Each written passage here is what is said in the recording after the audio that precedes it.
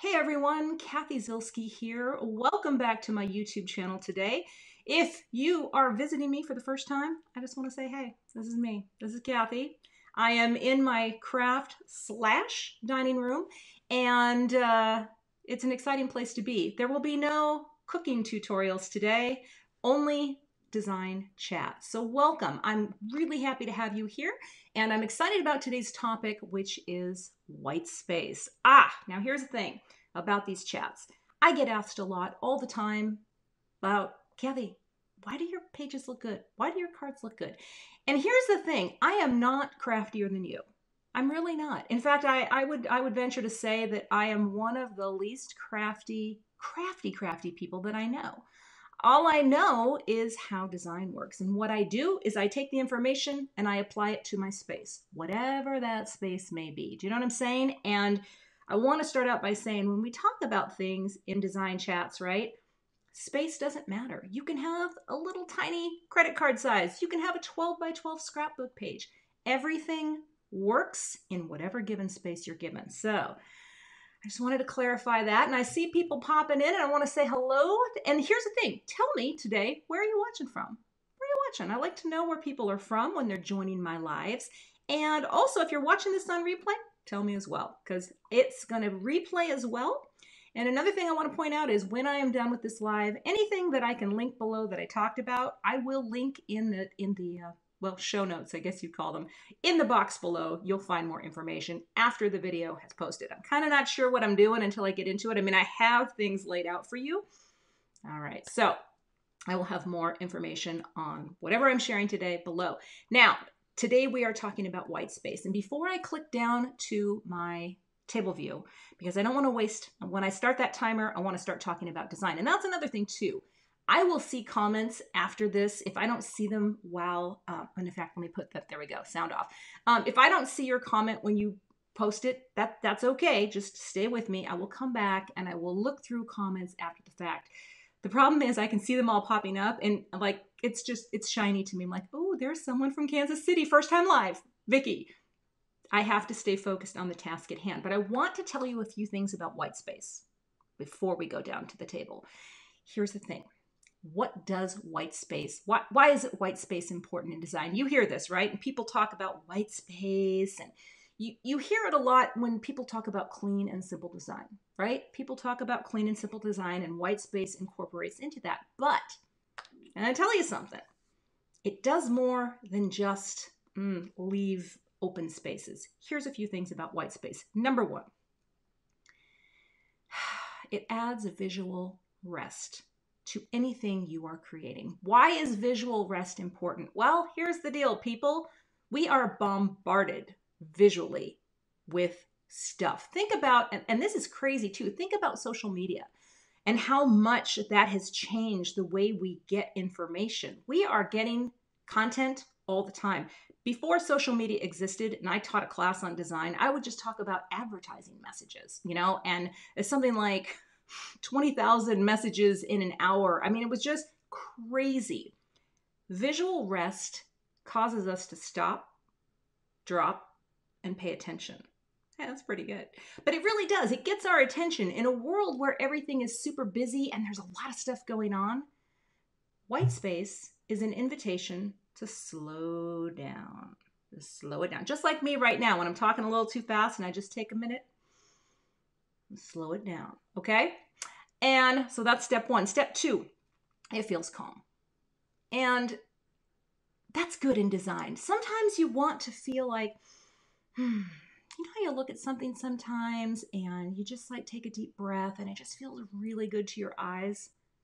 I'm going to guess there's some white space happening there. White space is calming. And number three, it makes whatever you are doing feel somehow more significant. Because when there's not a lot going on, or when you surround the core of your design with white space, it adds to the gravitas, if you will. Oh my gosh, my stomach, my stomach is growling.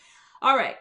What are you drinking this morning, or this afternoon, or this evening? I mean, hey, if it were after five, I might have a glass of wine, but it's not. So I'm going to have my coffee. Mmm. And again, great to see all of you people joining in today. I think this is a record, over 100 people. Love it. Thank you so much for being here. So, shall we? Shall we go to the tabletop? Are we ready? Okay, think we're ready. And here we go.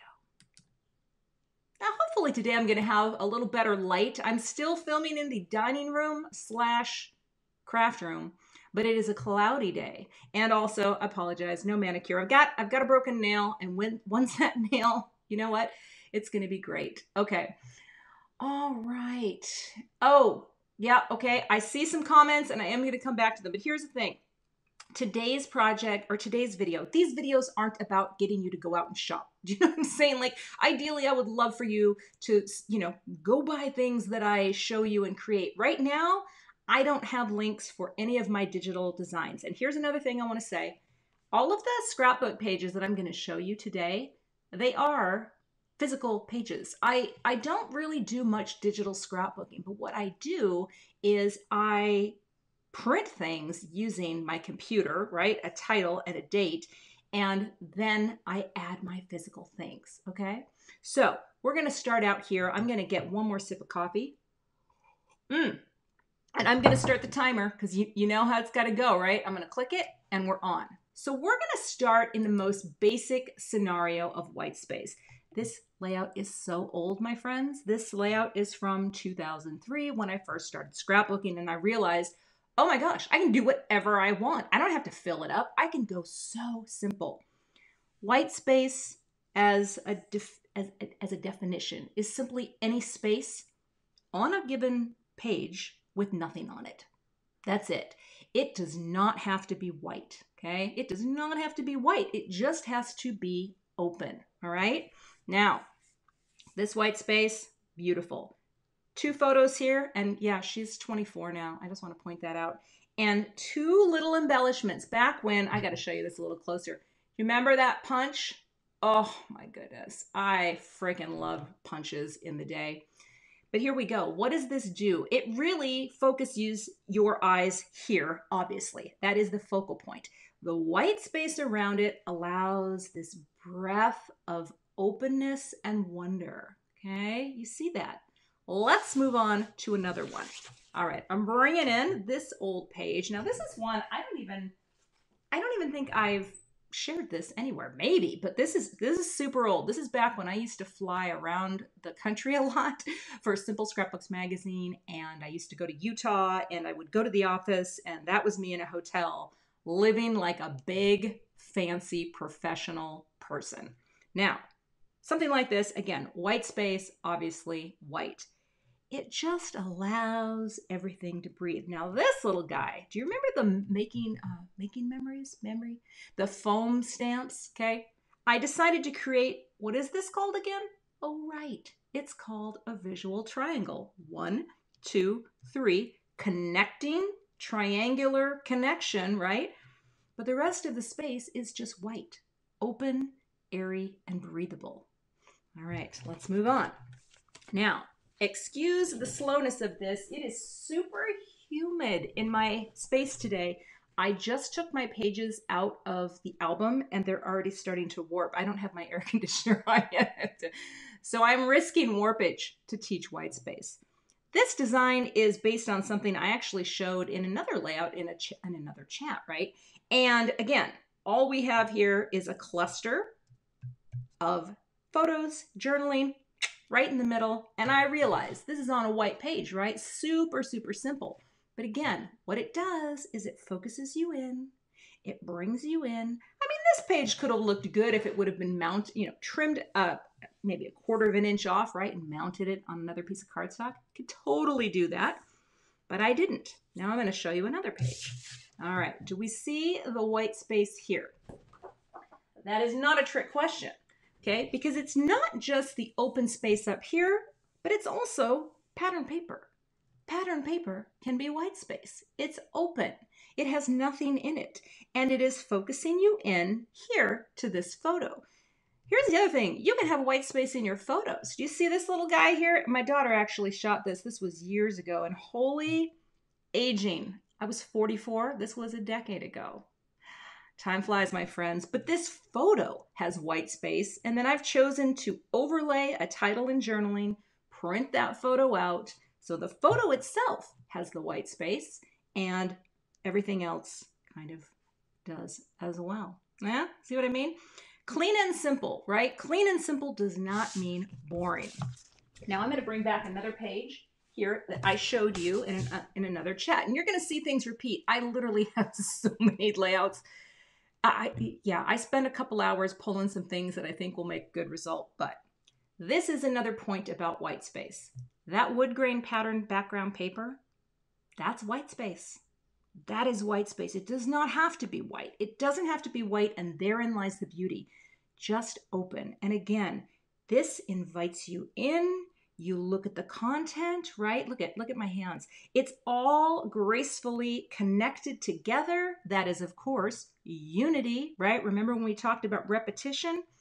But white space doesn't have to be white and pattern paper can be white space okay? And there you go. I'm going to show you one more here. I've got this guy. Now again oh the warping the warping is making me really sad. I'm going to have to get this all back into page protectors as soon as we're done. I tell you that humidity. Again, white space in this beautiful yellow cardstock. And even white space, you know, surrounding my journaling. Do you see that space? That margin space that goes around? That's another really um, common way that I work white space into projects, even maybe if they are very full. So all right. Okay. Volume is at max. You cannot hear me very well. It looks like my microphone is is coming through. So I'm I, am i am sorry, Roberta. I'm gonna have to double check that. But let me let me address that in the future. Apologize for that. All right. If sound is good, we're good. Um, it could also be, you know, various video feeds are giving you various things. So let's move on to cards. Now I'm gonna bring a card in and we're going to zoom and pan. We're going to come in here. How do I get bigger? There we go. We're coming in to cards because I want to be closer here and talk about white space and cards. Now, this is very obvious, right? You see this. You've got white all the way around, and that is framing out the content in the middle that is all connected and together. Now, the thing that's kind of cool about an idea like this is that this open space on your card just makes everything breathe, it's expanding, it does not have room to mm, feel crowded, I guess. I don't know. You know, it's it's super basic, but that is white space in a nutshell. Now, I'm going to show you another card. This little guy, you take the cake. Now, this is pretty obvious too, right? You've got a very colorful sentiment and you are surrounding it with white. And yes, it is white cardstock. But you also have the white framing margin. Now, this is something that I do in most of my card projects, okay? And what I like to do is trim a panel that I'm working on to be smaller than the actual card base so that I get this nice framing bit of margin space surrounding the card. That is another aspect of white space. And it creates this nice little holder, if you will. It creates this nice little frame that is simple, but also brings you into the experience of whatever your sentiment is, right? All right, I'll show you another one. Now, this is an older project. I, I think I have a video for this, but I may not. But here's another example of some white space. And the cool thing about something like this is I'm taking, you know, three little colored trees and placing them down in sort of the lower half of the page. And this space up here with, this is a, I think it's a Lawn Fawn plate of some kind that I, I need to play with this again because it's so stinking cute. But this up here, even though it's white space, you still have a little bit of pattern in there to create some interest. Now that framing margin around the edge of the card, well, that's white space too. And again, it is creating a very calm and a very inviting space. I've had a lot of people, you know, say to me, Cathy, but I, I can't stop at simple. I, it's really hard for me to incorporate white space and have cards that are so simple. And that's okay. That is okay. We don't all have to craft alike. Does that make sense? But when you look at how you are setting up your design, you can always look at what can I do to add a little space to the card? Now, in something like this, there's a lot going on with that rainbow, right? There's a lot of color going on there. But I've balanced it out in the upper right by just not having anything up there at all. Super, super simple. I'm going to show you another card project here. Okay, now even something like this where we have, you know, this little stenciled background and everything's kind of clustered here and this is down here at the bottom. I'm still finding ways to incorporate white space. And again, I realize mine is white and so it makes it a little easier to see. But I've got that going just to create a little bit of calm on a design that has a lot going on.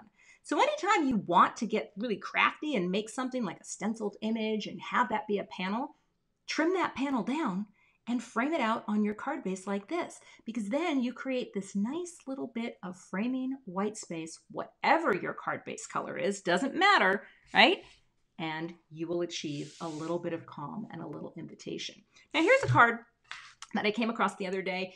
And again, this too is still white space. Again, does not have to be white. Hey, Simon Hurley, I see you pop in there. Um, the card color background doesn't have to be white. I've even got a little stencil of a heart pattern going in the background, right? But there is definitely space framing out the sentiment and the flowers. Now I realize our time is coming coming down. I got I got to move fast here. All right, let's bring in a card that I just shared this week. And again, this is pretty obvious with the white space surrounding, but again, those little panels, when you mount your cards onto a card base and allow that card base to come through, that is a wonderful way to invite white space into your design. You can do this. You can do this. I can do this, and you can do this. All right, I'm going to bring in one more card here. Actually, I've got two more cards. I've showed you this before, but again, same thing. White space, framing the design and then that little panel trimmed down so that that pretty cardstock can come through in the background. I realize the time has expired. I'm going to show you one more card that I've showed you before. And this little guy, again, this is really a design that features a lot of white space. I had talked about this with asymmetry, right? That everything is shifted off to one side for the balance. But this is also an example of how you can incorporate white space into a card design for dramatic impact or just impact, period. Because there's nothing going on over here. Do you know what I'm saying? But you've got it all anchored over here and it allows this energy, this design space to just flow off, flow off. It's so open and calm and inviting.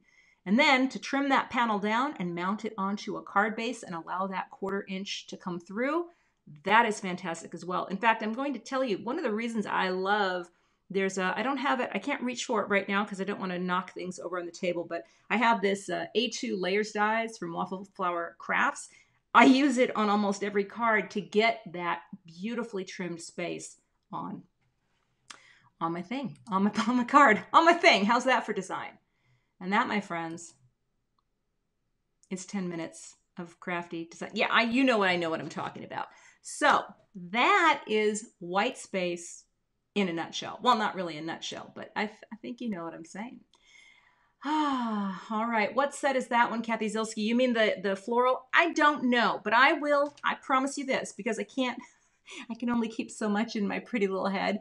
I am going to, after this video is done going live, I'm going to link everything below in the notes. So whatever I've shared, if you want to come back after this is done in about 15 minutes, I'll have it linked up, ready to go. And also, there are other videos in this series you could watch. I, I was going to number them. I'm not going to number them anymore. I'm going to distinguish them with different thumbnail images. And there's just a lot of topics that I want to come back to and talk about. So before we go today. Um, if you do have any comments here, I can answer questions quickly before we go, um, as long as it's not, what card set is that? Or what stamp set is that? Because clearly, clearly I don't know. Um, but I do want to point out something really quickly here. So if if you decide you want to ask me a direct question that you didn't see answered here, or even if you have an idea for something you'd like to see covered, shoot me an email at cathy at cathyzielske.com. That is the easiest way to get a hold of me, and I will see that. Okay. All right, I'm going to turn that guy off. And here's another thing. Uh, if you uh, if you learn something from any of these chats and you post something on social media, tag me. Tag me with the hashtag CZ Wait, let me point to it. Can I do it? I, it's backwards. CZ Design Chat because then I can go throughout the week and see what you're creating and see how, quite honestly, you people are nailing it because you are. And yeah, that's just a great way for me to see if you take anything that you've learned from this little chat. And again, these are short. Um, is busy pattern paper still considered white space? You know what I want to do? How do we do this? That's how we do it. All right, I'm gonna pop this up really quick because I just wanted to prove to myself. Let me uh, let me turn off some of the other things that I got going on here. All right, um, I'm gonna pop this up on screen, and the answer is yes. Busy pattern paper can still be considered white space. Because if you look at it as a whole, here's something that I've done so many times when I'm designing scrapbook pages. Well, number one, I stand up and I look straight down at my page so I can really see what's happening. That's a great that's a that's a design hack that I think you all should know. If you're having trouble seeing a page or a card, stand up and look down. You're going to have a bird's eye view. It's going to be awesome. But if you blur your eyes a little bit when you're looking at a pattern paper, all of a sudden it just becomes this melange of color and you realize this is a white space of sorts. It's just a fuller and busier one. Does that make sense? But, you know, even like a super str I've got, well, where are they? You know, I've got pattern papers over my shoulder. For example, let's say I was going to use this on a page. You know, you see that? It's still white space if I don't stick a bunch of stuff in it. Makes sense? Um, and another thing too that I'd like to do going forward is I'd love to just do like a Q&A session because I really do like being able to pop up the questions and answer them.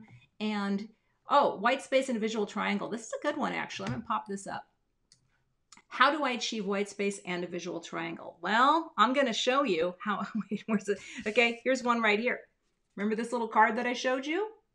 Okay, there's a lot of white space going on. You see that? But what did I do? I placed the sequins with a direct connection to the title, right? We talked about in the sequin chat, we talked about having a direct connection to whatever it is you're trying to embellish. And that creates a visual triangle, three areas together, but it's still white space. So it's just a matter of looking at what you're designing and thinking, where can I connect things? because you don't have to make it really busy to create a visual triangle, if that makes sense. So, ah, thank you so much. Now, how do I get that question out of there? I'm, I'm learning. I love this software that I'm streaming with. And anyone who's curious, it's called Ecamm Live for the Mac. I really, really like it. And, oh, Cordelia, I see your comment, but you can rewatch this. It's going to be available on my channel. And again, everyone, I'm going to go back in and I am going to add notes below so if I can link up any of these card projects, if you actually want to see the technical side of how I created them, by all means do. Uh, one other last thing. If you are not a subscriber to my YouTube channel, I would love to have you become a subscriber. I'm really loving YouTube. I'm loving this new foray into doing lives. I was a little nervous to get into this at first because I know it's, uh, well, it opens you up to some really weird comments. I'm going to tell you that.